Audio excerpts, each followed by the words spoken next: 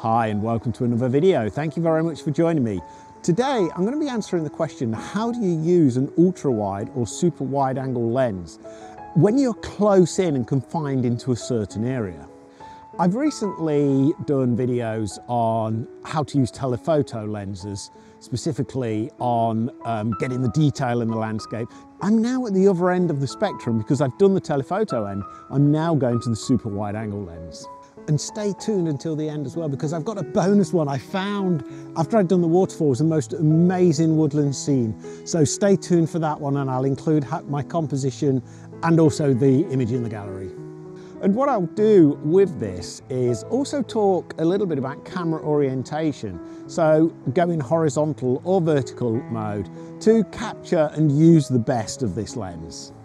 And this is the first time I've been to this location. I'm absolutely, it's absolutely beautiful. Um, I have mountain, I can see the mountain bike trails, but I've never been down to the river and the waterfall that I'm gonna head up to. If you're seeing this, it's actually lived up to its promise, but actually at the moment from where I am, it's absolutely beautiful. So I'm gonna head on up the trail.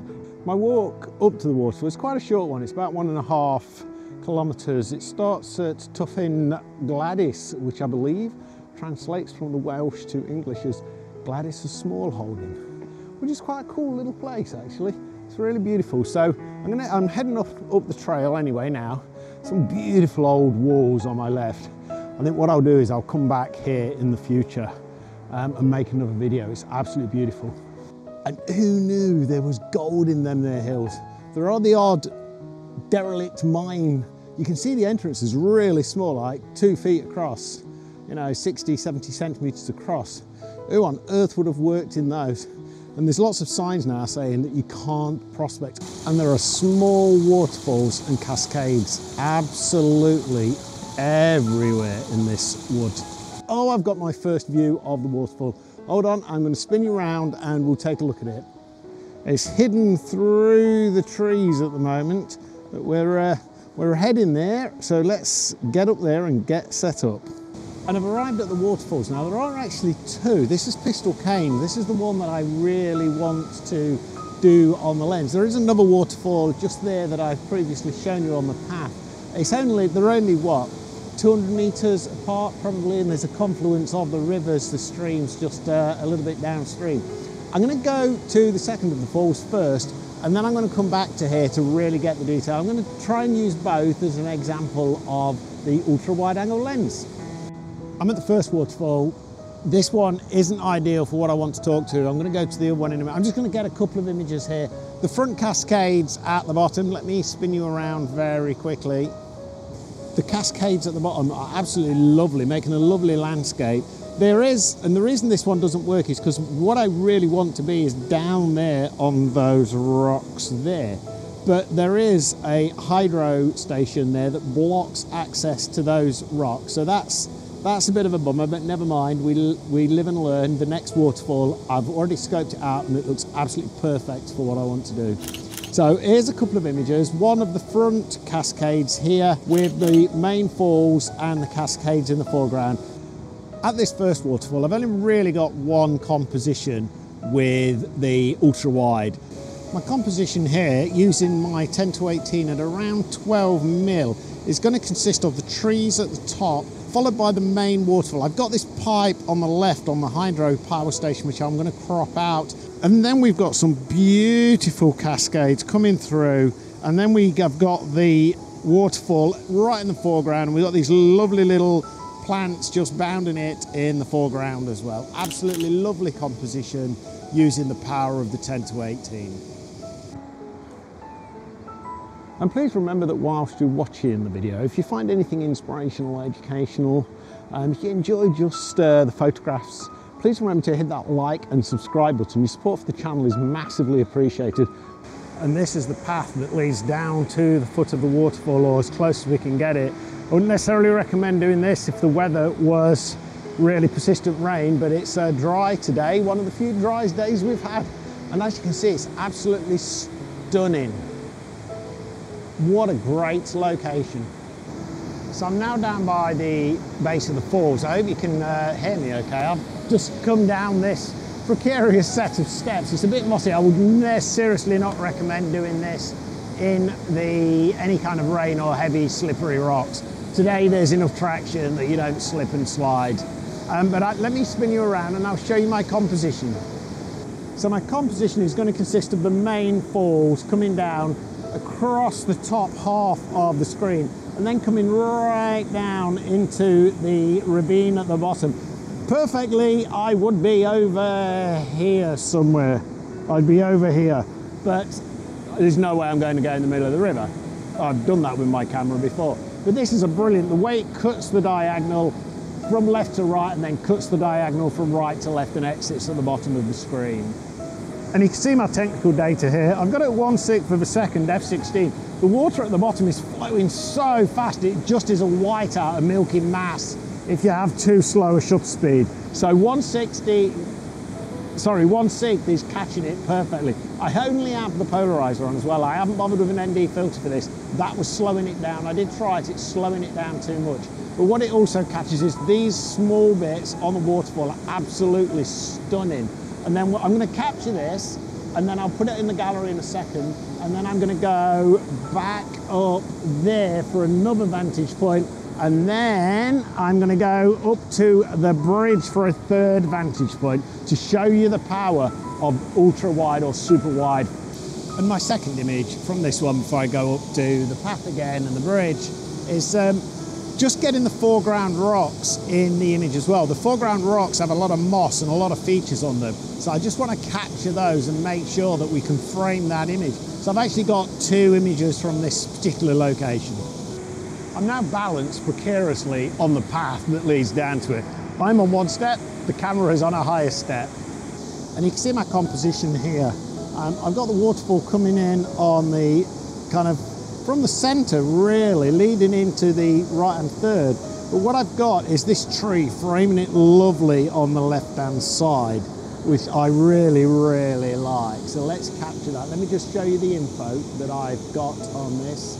So you see I've got a, a 160, sorry, 1 sixth again, f16. Too fast, anything much faster than that. So let's capture that image.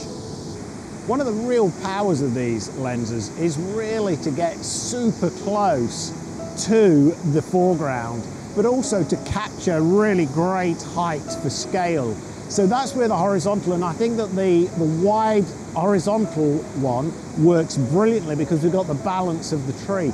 I'm now going to rotate it to vertical so that you can see the difference that it makes. And I'll include both of those in the gallery as well for you and you can see the difference flicking it to horizontal makes. We've got the waterfall coming around, creating a fantastic arc, which we kind of had on the landscape, but what we've got now is we've still got the tree as well. I've actually got it at this full 10 mil right at the bottom end of the lens, so it's creating this great arc.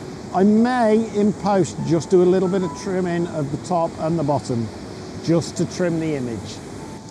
I'm up on the bridge now, which overlooks the waterfall. You can see the waterfall in the background just there. Me just spin you around very slightly. Got the tripod on the maximum extension, which is about my height. So, I, you know, with the geared head, absolutely love it. And you can see my composition here. Let me get rid of all of the information for you. You can see my composition here. Got the waterfall coming in. Unfortunately, there is a tree in the way. I can't get rid of this. If I move further to the right, there's a tree closer in but we do get the concept of the waterfall. It's hitting the pool at the bottom and it's flowing through.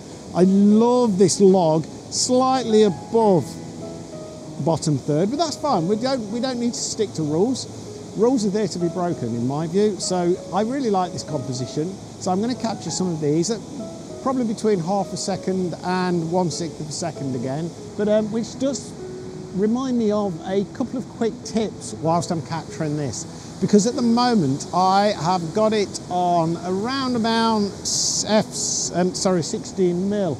But if I bring it all the way to 10 mil, I actually start to get the tripod feet in the bottom of the image. So one thing to be really careful of, that's a great tip, just double check your composition that you don't get the tripod feet in. The other one, at between 10 and 12, if you stack multiple filters, I'm using just the polarizer at the moment and I'm still getting half a second because it's quite, quite dark underneath the trees where the waterfall is. Um, if you actually go down to 10 mil, just be careful if you're stacking that you don't get vignettes in the corner Certainly some will not give you that vignette, even if you stack two, but most will. So just be aware of that. So tripod legs and vignetting from multiple stack filters are two big tips when doing this. So this is the composition that I found on the way back to the car, is a real surprise. But this is where you can only get capture this with a wide angle. I've got it at 10 mil at the moment.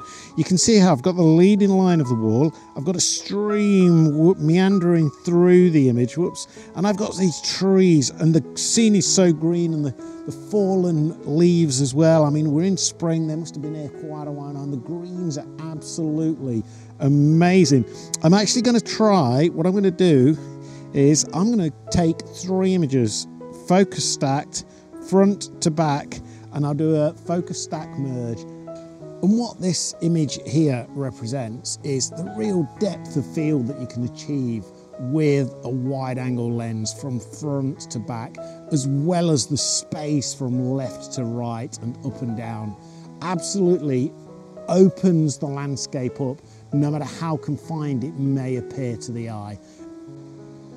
So let's take a look at the gallery now that we've captured today using the ultra wide angle lens. Um, I will be back here, it's absolutely stunning. I will do a video in the future of the features and how to capture images on the trail here and along the river itself because it's absolutely fantastic but there would just be too much for this video. And today I really wanted to focus on the ultra wide angle lens.